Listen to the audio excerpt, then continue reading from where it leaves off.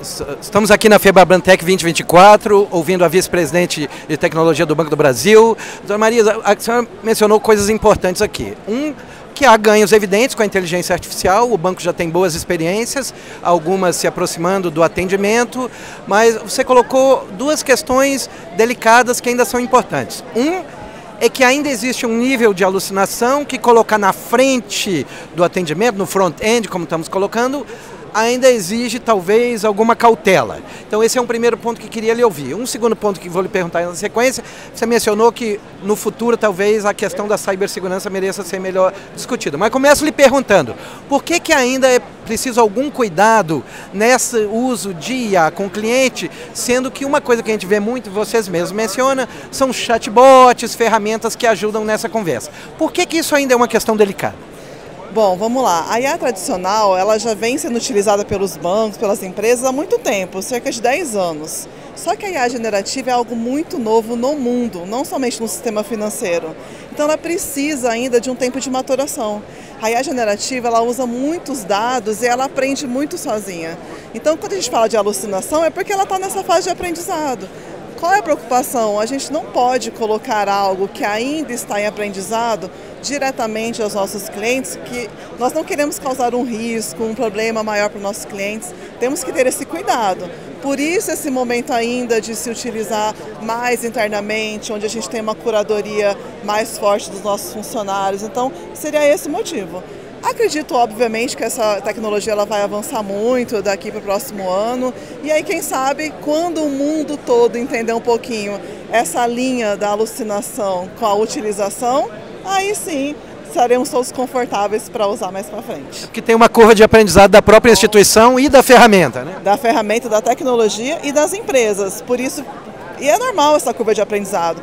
Só que como a IA generativa é extremamente exponencial, o aprendizado ele vai ser mais rápido, porém, se a gente não aprender corretamente, ele também vai causar o lado mal né, dessa não utilização correta. Como foi mencionado aqui, é um setor muito regulado, tem essa cautela é, duplamente, eu diria. Duplamente e também o cuidado, o olhar com o nosso cliente. Eu não posso colocar em risco algo que eu estou, eu enquanto banco, mostrando para o nosso cliente, vai para esse caminho, vai para esse outro caminho, se não está legal, eu preciso cuidar do meu cliente. Por isso essa preocupação muito latente com a alucinação. Outro ponto que foi falado aqui durante o painel, que você especificamente ressaltou, você disse, olha, nós ainda vamos ter que conversar mais sobre cibersegurança. Por quê? Está se falando pouco ainda? Não, a gente fala de cibersegurança em todos né, os lugares. Especificamente aqui, ninguém ainda tinha falado sobre cyber, né? E o que eu penso sobre isso? Nós já usamos inteligência artificial no auxílio, ao monitoramento da, da questão de cibersegurança. O que eu quis dizer ali é um pouco assim, ó, se a IA generativa está evoluindo tanto, como é que ela vai ser utilizada? Vamos pensar para o lado mal. Como é? Será que ela vai também é, ajudar uma propagação maior na, na, questão de cyber. Então eu penso sim que conforme a tecnologia ela for evoluindo, como a gente falou um pouquinho antes, né, na maturação, na governança dos dados, a gente vai começar a olhar mais para essa questão e aí avaliar se de fato ela evoluiu para alguma questão de cyber ou não. E o, o, bem vai acabar tentando correr atrás e evoluir também, né? Porque a área de segurança também vai tentar usar, como você já disse, já é importante usar IA para a segurança. Né? Sim, a gente já usa IA na segurança dos nossos clientes e aí, usando a IA generativa para o bem, ela também vai proteger ainda mais os nossos clientes. Agora, um outro lado, que é o lado positivo, você mencionou os pontos que o banco já usa e já vê resultados. Você chamou atenção para alguns casos, eh, eu queria só que você pudesse frisar onde que vocês estão vendo que essa coisa vai bem? Com certeza na hiperpersonalização no atendimento do cliente, quando eu consigo avaliar usando inteligência artificial o que exatamente ele precisa naquele momento.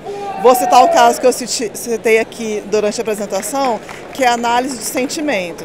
Então hoje, quando o cliente nos escreve na ouvidoria, num chat do banco, e ele escreve de uma maneira pouco chateada com o banco, a gente usa a IA e consegue entender que aquele cliente está propenso, por exemplo, à abertura de um chamado ao Bacen.